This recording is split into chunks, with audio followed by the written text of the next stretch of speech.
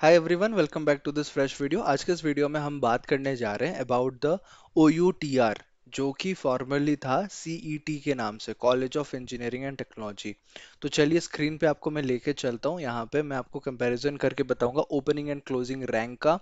यहाँ पे आप देख सकते हो Odisha university of technology and research formerly college of engineering and technology Bhubaneswar, इसी नाम से था ये। तो अभी अगर मैं बात करूँ अबाउट दिस ब्रांच तो आप लोग यहाँ पे डिफरेंट ब्रांच देखोगे। उसका मैं जेई मेन के ज़रिए से होम स्टेट के लिए जो जनरल रैंक रैंक होता है, उसी रैंक को मैं कंसिडर करूँगा होम स्टेट के लिए। आउटसाइड रैंक वाले, अगर ये आप लोग ये पीडीएफ चाहते हो, जो भी लोगो अपना S C S T category देखने और जो भी फीमेल ओनली कैटेगरी देखने, वो सब चीज़ आप कर सकते हो, देख सकते हो।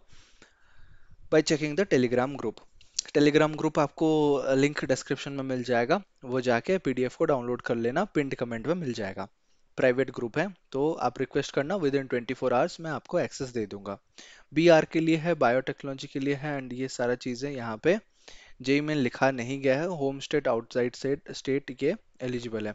क्योंकि ओजे का बोला गया है कि गवर्नमेंट कॉलेज में आउटसाइड स्टेट्स वाले नहीं जा सकते। ओनली प्राइवेट कॉलेज में जा सकते हैं।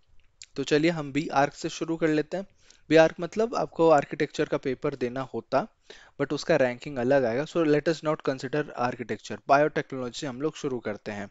सो बायोटेक्नोलॉजी एसएससी एसएससी मतलब सेल्फ सस्टेनिंग कोर्स ओके तो मैं आपको क्या करूँगा, अभी एक्सेल शीट भी दिखा दूँगा, जो मैं प्रिपेयर करता हूँ हर वीडियो में, और एक्सेल शीट में जाके मैं पेस्ट कर दूँगा बायोटेक्नोलॉजी एस एसएससी और उसके बाद उसका जो होम स्टेट का होगा इकोनॉमिकली वीकर नहीं, मैं बस जनरल कैटेगरी जेंडर न्यूट्रल का रैंक आपको कंपैरिजन करके यहाँ पे दिखाऊँगा। So make a note of it it is for home state general category gender neutral बाकी रैंक्स भी female only and all S C S T वो तो आपको पीछे रैंक में भी मिल जाएगा। बट बाकी ये चीज़ें आपको नहीं मिल रहा होगा। Only home state gender neutral male female दोनों ही देख सकते हैं इसको। बायोटेक्नोलॉजी एसएससी हो गया और उसके बाद आगे चलते हैं सिविल इंजीनियरिंग मिलेगा। तो सिविल इंजीनियरिंग में मैं आपको ये पीडीएफ यार, ये पीडीएफ आप देख सकते हो, है ना? मैं आपको बार बार सेम चीज़ नहीं दिखाऊँगा। That's why I am telling all of you कि ये पीडीएफ आप एक्सेस कर लेना। मैं बस कंपैरिजन करके सॉर्ट करूँगा कि कौन सा ब्रांच यहाँ पे अच्छा होगा based on the ranking okay चलिए, वापस मैं एक्सेल शीट यहाँ पे दिखा दिया। बायोटेक्नोलॉजी हो गया opening and closing rank common rank बता रहा हूँ। हाँ सी आर एल पे जो आएगा। फिर सिविल इंजीनियरिंग तो let me copy civil engineering video लंबा हो सकता है but it will be informational तो यहाँ पे हम जाएँगे we will paste civil engineering तो सिविल इंजीनियरिंग का home state general category gender neutral इसका रैंकिंग आपको मैं बता देता हूँ यहाँ पे। दिस इज़ द रैंकिंग और उसके बाद closing rank two lakh forty four thousand पहले हम नोट कर लेते हैं, सारा चीज़ अच्छे से नोट कर लेंगे। दो चीज़ हो गया, आप अपना रैंक को भी यहाँ पे फिट करते जाओ कि आपका रैंक कितना आ रहा है। और कंप्यूटर साइंस याद रखना, जो सीईटी में है या ओ यू टी आर आप बोलो that is your S S C only self sustaining course और सेल्फ सस्टेनिंग कोर्स का फ़ीस थोड़ा सा ज़्यादा होता है। So SSC home state general gender neutral rank अच्छा लाना पड़ेगा यार सीईटी में आपको लाने के लिए। देखो दिस इज़ द रैंक बाकी एस सी हो, कुछ है तो तब तो थोड़ा पीछे रैंक में मिल जाएगा। बट अगर जनरल हो no reservation within this rank ही आपको मिलेगा। हो गया? अब नेक्स्ट ब्रांच बात करते हैं। That is electrical engineering okay electrical engineering आप कोई कोर ब्रांच में जा रहे हो, मैं हमेशा रिकमेंड करूँगा गवर्नमेंट कॉलेज में जाओ। C C T is government college so you can go for it electrical engineering और इसका home state general gender neutral within one lakh आपको लाना पड़ेगा वन लाख और रैंक वन लाख में। ये हो गया। फिफ्टी फाइव थाउज़ेंड से वन लाख के अंदर लाओगे तो हो जाएगा इलेक्ट्रिकल इंजीनियरिंग फिर थोड़ा सा बात करते हैं हम लोग। इलेक्ट्रॉनिक्स एंड इंस्ट्रूमेंटेशन इंजीनियरिंग ये भी ब्रांच है सीईटी में। तो जितनी भी ब्रांच है, सभी ब्रांच का मैं बताऊँगा आपको। और क्लोजिंग रैंक के हिसाब से हम सॉर्ट करेंगे। ये चीज़ याद रखना। तो instrumentation engineering home state general gender neutral economically weaker section को थोड़ा सा और अच्छा रैंक लाना पड़ेगा। हो गया इलेक्ट्रॉनिक्स एंड इंस्ट्रूमेंटेशन फिर फ़ैशन एंड अपैरल टेक्नोलॉजी ये भी ब्रांच है अवेलेबल एट सी टी वो भी मैं ऐड करता हूँ यहाँ पे। ये कोई अगर इन केस इंटरेस्टेड है तो आपको पीछे रैंक में भी मिल जाएगा। देखो opening and closing rank same है यहाँ पे। 15 लाख में मिल जाएगा। नया ब्रांच होगा वहाँ पे। सीट्स भी कम होंगे। इंफॉर्मेशन टेक्नोलॉजी की बात कर लेते हैं। काफ़ी लोग पूछते हैं कि सर इंफॉर्मेशन टेक्नोलॉजी ब्रांच कैसा रहेगा सीईटी में और सीएस में? तो रैंक देखना, आप पता कर लोगे। Home state general gender neutral उसी के आसपास सीएस का जैसा है, उसी के आसपास होगा। बट सीएस में क्या होता है कि थोड़ा सा और कम रैंक चाहिए। आईटी में थोड़ा सा पीछे भी होगा तो चलेगा it is fine but IT में मतलब सीएस में सॉरी पीछे नहीं होगा। आईटी में थोड़ा पीछे रैंक होगा चलेगा बट सीएस में अच्छा रैंक चाहिए ही चाहिए आपको। Okay that doubt is clear information technology sort कर लेंगे थोड़ी देर और रुक जाओ सारे ब्रांच खत्म हो जाए और दो तीन ब्रांच है।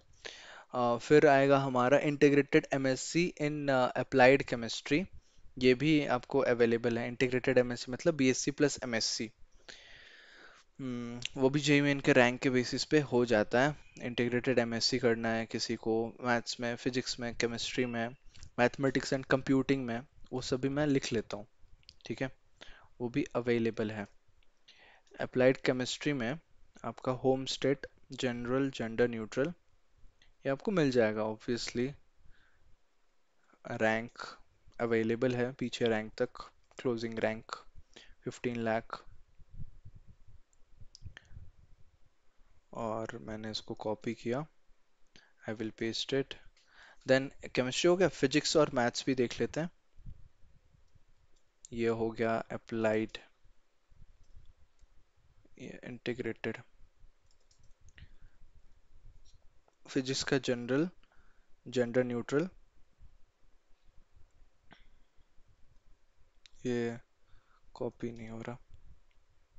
सेवेंटी थाउज़ेंड से मतलब ये डिमांड अच्छा है फिजिक्स का as compared to chemistry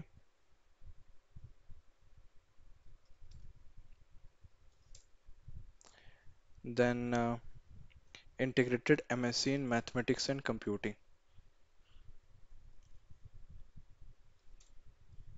इसको एक्सपैंड कर देते हैं। Then general gender neutral home state इसमें और ज़्यादा डिमांड है क्योंकि क्लोजिंग रैंक इसका कम है। हम क्लोजिंग रैंक को सॉर्ट करेंगे, मैं बता दूँगा आपको। दोनों ही आइडिया दे दूँगा। फिर ये हो जाने के बाद we have mechanical engineering so let us talk about mechanical engineering उसका भी हम opening and closing rank discuss कर लेंगे। जनरल जेंडर न्यूट्रल ये रहा मैकेनिकल फिर क्लोजिंग रैंक देन मैकेनिकल के बाद बचा हमारा लास्ट ब्रांच और तो ब्रांच नहीं है इसमें last branch is textile engineering okay इतने ही ब्रांच अवेलेबल हैं आप गूगल जाके भी चेक कर लेना, क्योंकि जो पीडीएफ प्रोवाइड है, वो गवर्नमेंट की तरफ़ से भी प्रोवाइड है. ऑब्वियसली यही सब चीज़ मेंशनड होगा ब्रांचेस उनके कॉलेज में. That's why it is available हो गया? तो ये हमारा पूरा लिस्ट तैयार होके आ गया. आप लोग अच्छे से देख पा रहे हो. अब मैं आपको समझाता हूँ कि ब्रांच का डिमांड कैसे होता है based on the opening and closing rank मतलब हम सॉर्ट करेंगे, दोनों को सॉर्ट करते हैं. पहले ओपनिंग को मैं सॉर्ट करता हूँ, ठीक है?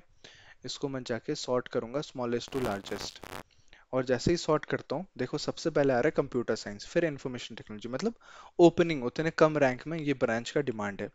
क्लोजिंग को अगर मैं सॉर्ट करूँ स्मॉलेस्ट टू लार्जेस्ट तो आप देखना थोड़ा सा बीच में चेंज हुआ। सबसे डिमांड ब्रांच क्या है यहाँ पे? कंप्यूटर साइंस एंड इंजीनियरिंग 42,000 में ही खत्म हो जाता है। इंफॉर्मेशन टेक्नोलॉजी उसके बाद आता है जो कि 56,000 में खत्म होता है। उसके बाद इलेक्ट्रिकल फिर electrical and electronics and instrumentation फिर मैकेनिकल फिर सिविल फिर बायोटेक्नोलॉजी फिर उसके बाद इंटीग्रेटेड एमएससी जिसमें mathematics physics then textile engineering then fashion then उसके बाद chemistry this is how it goes based on the closing rank अगर आप सॉर्ट कर लोगे based on this opening rank जो हमने किया था, ये ओपनिंग में सॉर्ट हो गया